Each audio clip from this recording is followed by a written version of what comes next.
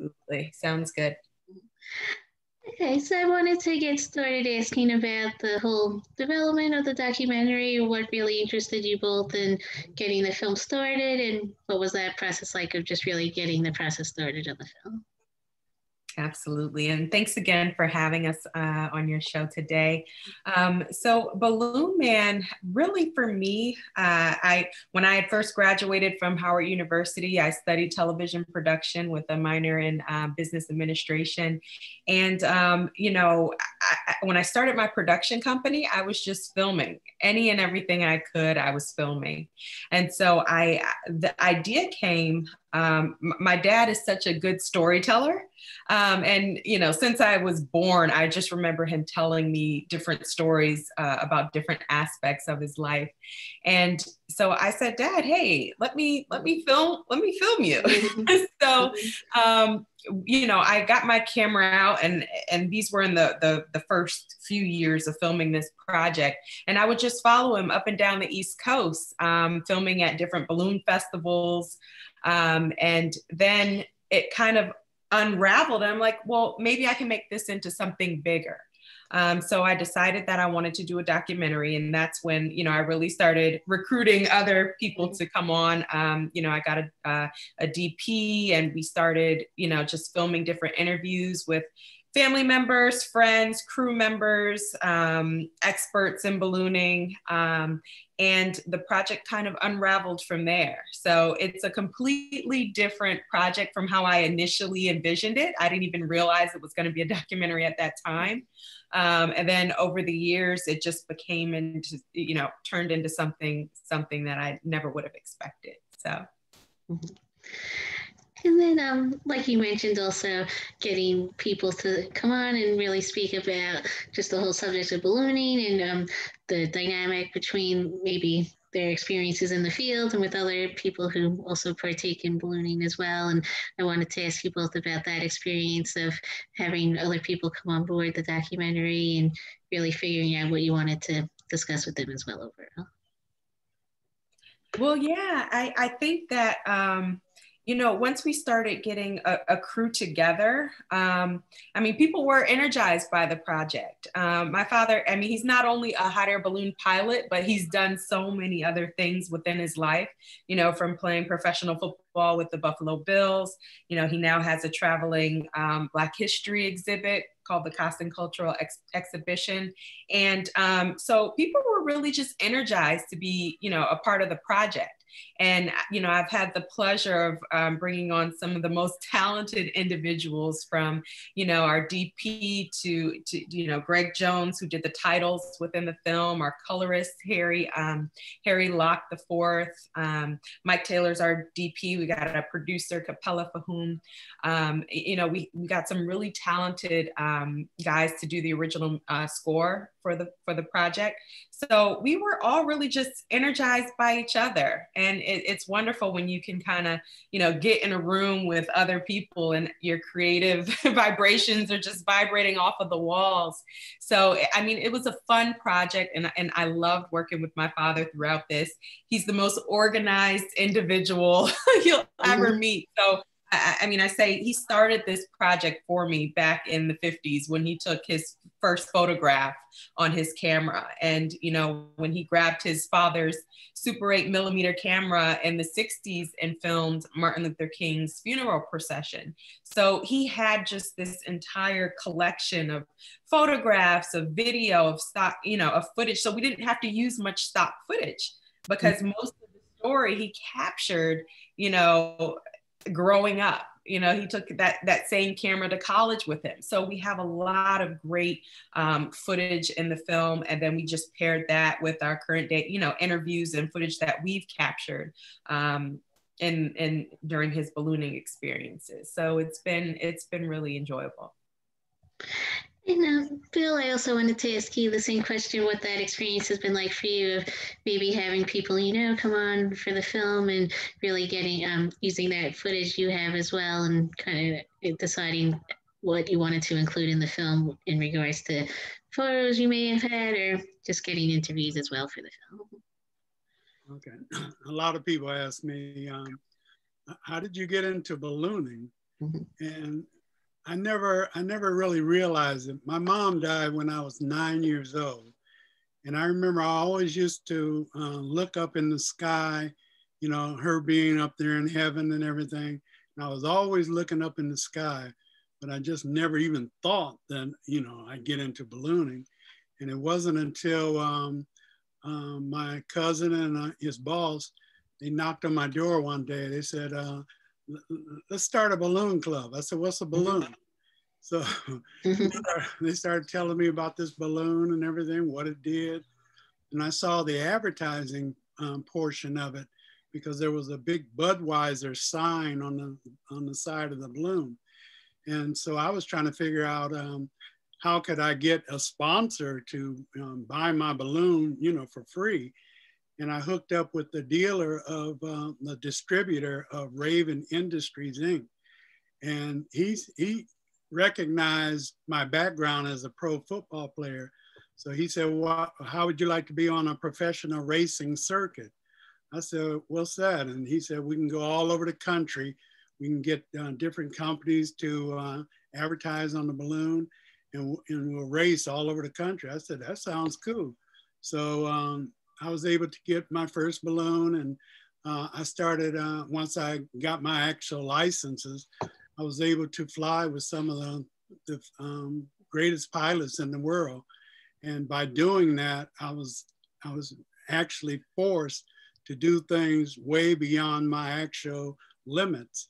So I learned quickly to um, be safe and to um, uh, not kill myself up in a balloon. Mm-hmm. Mm-hmm.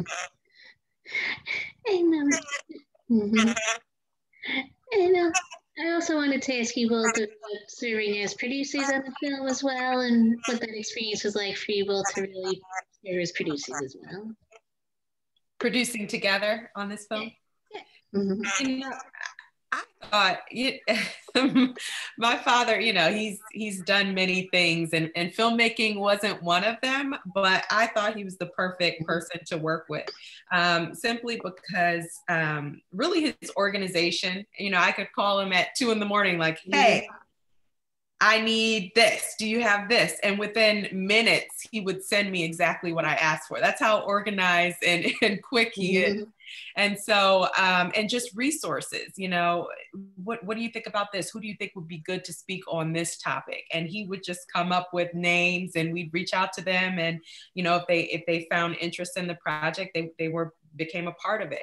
So, you know, working with him has been just a wonderful experience. I think it's made us closer, you know, as a father and daughter. But, um, you know, people ask me all the time, was it difficult working with him? You know, eh, not at all. It was it was such a delight working with him. And then when it came down to cutting the film, um, I mean, this the first cut was about three hours long, and mm-hmm. I was married to everything within mm-hmm. it. But um, you know, we we I did the first cut of the film and then I had to send it off to an editor who didn't know my father. Yeah, I had met him a few times in passing. So he, he didn't know our story. And I said, just cut whatever, whatever you think doesn't, you know, matter, whatever you, you don't think the audience would resonate with, just cut it.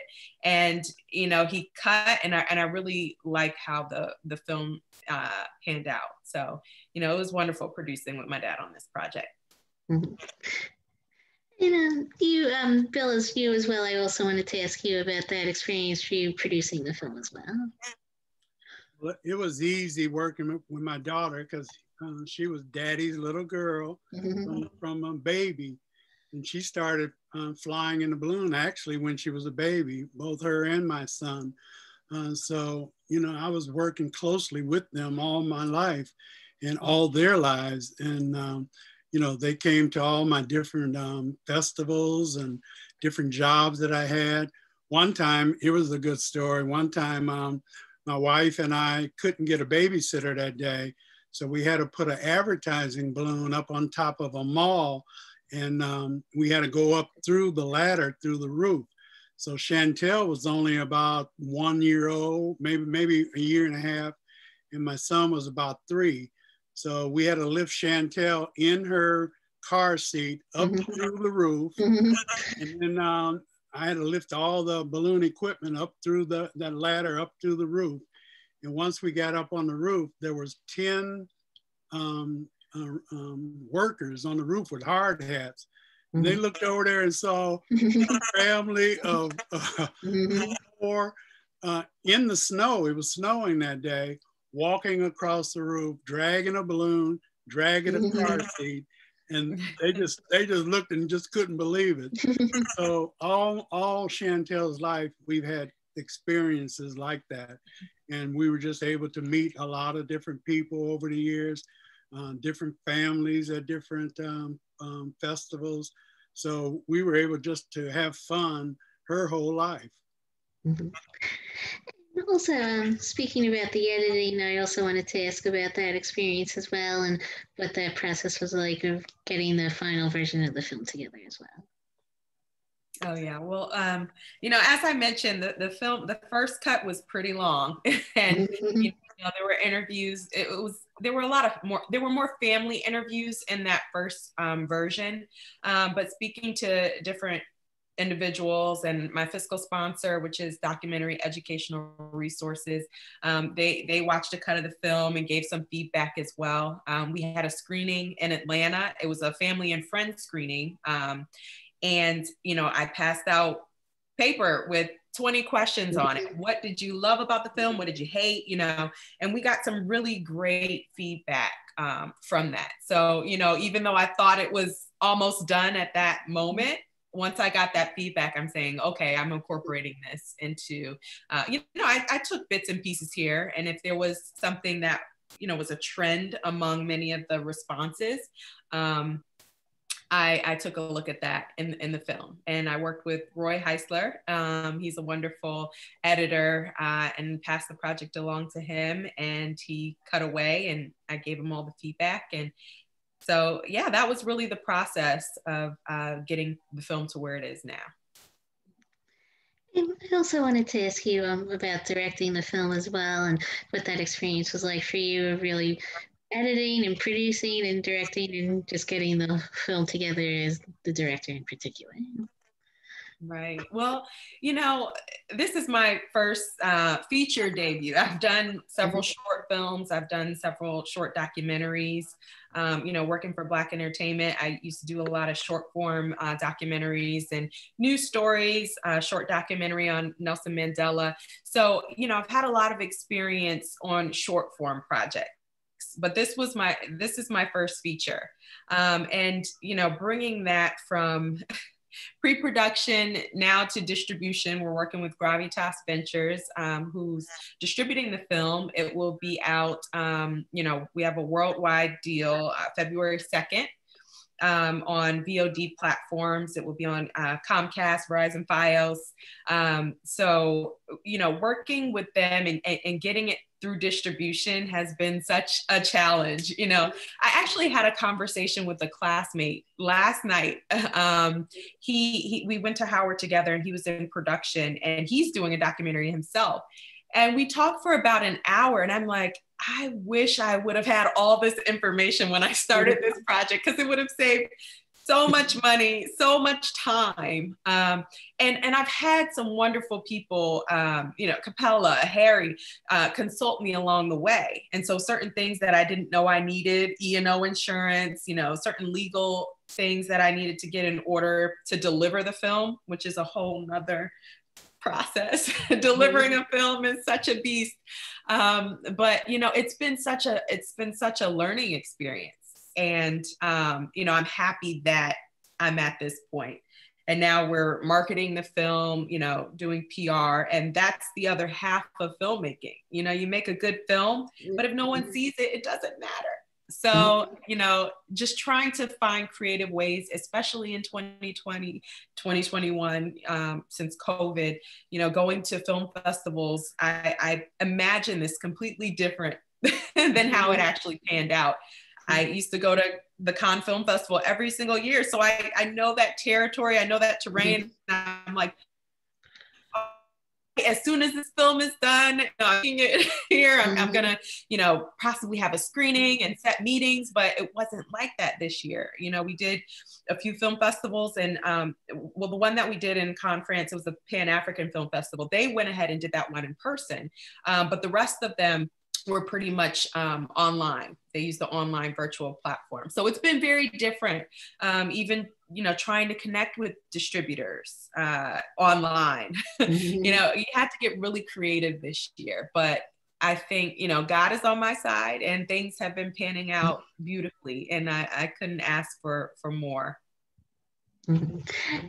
And speaking of the dis- digital distribution, I also wanted, I was actually about to ask about that. And um, following up on that last response, I also wanted to see um, what the experience has been like for you both and really getting to maybe hear feedback from audiences online who are looking forward to seeing the film and just doing those festivals and um, the virtual route as well, and what that experience was like of maybe connecting with audiences um, in particular virtually as well.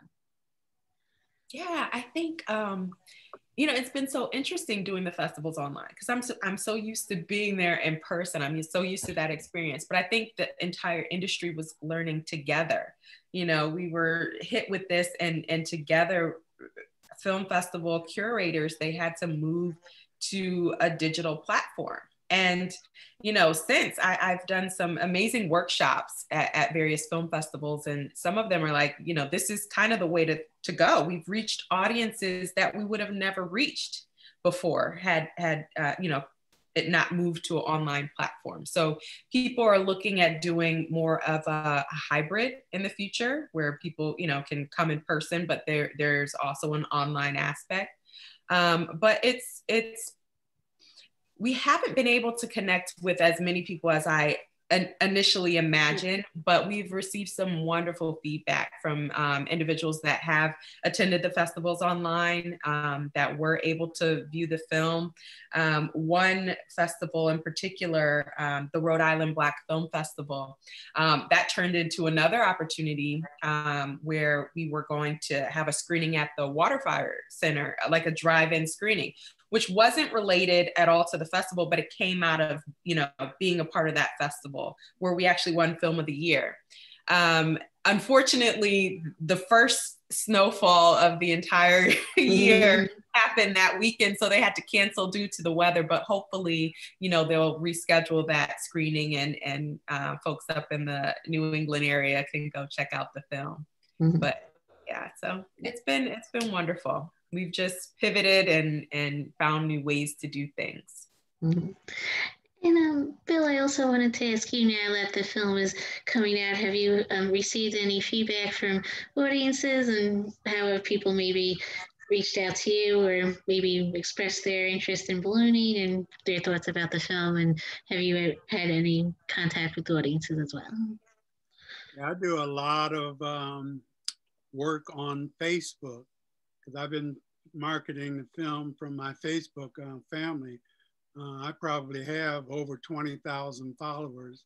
And um, as I've, uh, uh as we've known that the film is um, going to be produced, I've been uh, reaching out to all the people um, that I've flown with.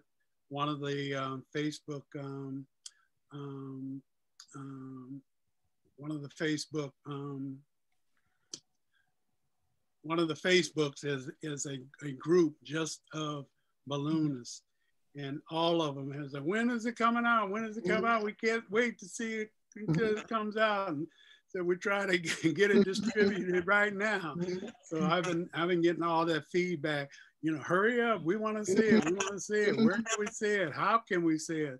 Right. I, I, don't know. I don't know. You have to talk to my daughter. I don't know.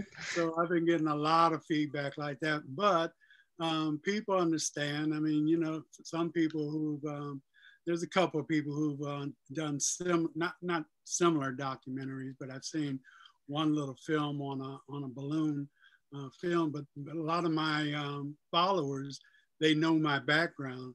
You know, ever since I've been into um, trying to capture Black history for people who don't really know about Black history like I didn't know. I've, I've developed a lot of followers through that. So um, as I've uh, done my Costen culture exhibition, you know, I've had a lot of people there saying, "Oh yeah, I heard about your Balloon Man film. When is it coming out?" I, don't know.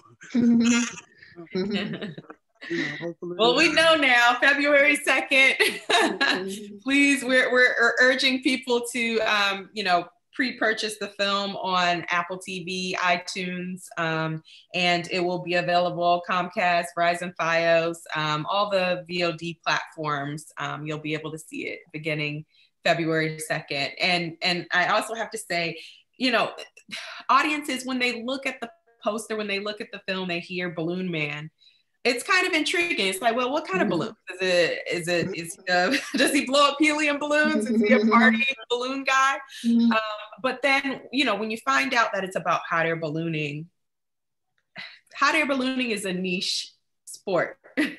so I, I, just wanted to um, let audiences know that it's about my father. It's about his life, his journey, getting into hot air ballooning. So he he did so many other things, and there are so many other themes within this film that I wanted to highlight. So what I'm really doing right now is a um, a series. It's going to be is four panel discussions, virtual panel discussions that we are launching two weeks um, prior to the February 2nd release. And so one is on um, life after pro sports. You know, once the jerseys are retired, what now? How do you prepare for something that has defined you for so long? Um, one is uh, called Knowledge is Power, really on um, Black history. Um, and, you know, we have some really great panelists on that one talking about the importance of Black history there's actually a new bill in Connecticut mandating um, Black history be included in their curriculum by 2022. So we have uh, Senator Douglas McCrory on that panel talking about that initiative. Um, the third panel is Ballooning is for Blank. And I sit down with some of the world's uh, most fascinating pilots, and they fill in the blank for us um, and talk about their experiences, some of the challenges that they may have had um, in ballooning. And then the last one is kind of like a daddy daughter panel, um, just women really in entertainment that have been heavily influenced by their fathers, like like myself. Um, you know, I went to Howard University just because of all the stories that my dad had of his experience at Morris Brown. So um, these panels you know if even if you don't really care about ballooning there's so many other themes that you may be able to resonate with um, so, you know, we're dropping those two weeks leading up on the Balloon Man website. So please look out for that. You know, we have some wonderful conversations with some wonderful influencers, experts, and friends. So. Now that this um, film is being released in a few weeks, I also wanted to ask about what's coming up next for you both. Um, are you interested in working together in another film? And do you have any ideas or just what's coming up next year? Oh yes, well, absolutely. That's the question that always everyone always asks. Like, oh, this project is great, but what what do you have? What else do you have going on? Um, so yes, I'm working on a, a short film next, uh, animated film. So we're in um, pre-production with that. Um, and I really want to do a narrative, a feature narrative as well. So um, simultaneously, I'm working on both of those projects. So definitely in 2021, look out for, uh, well, the narrative won't be shot in 2021, but I'm looking to have the short animation um, completed in 2021. Mm-hmm. Okay, I think that was mainly it, but thank you to um, both of you for taking the time out today. I appreciate it. No, thank you so thank much you. for having us. We thank appreciate you. You're welcome. Thank you again.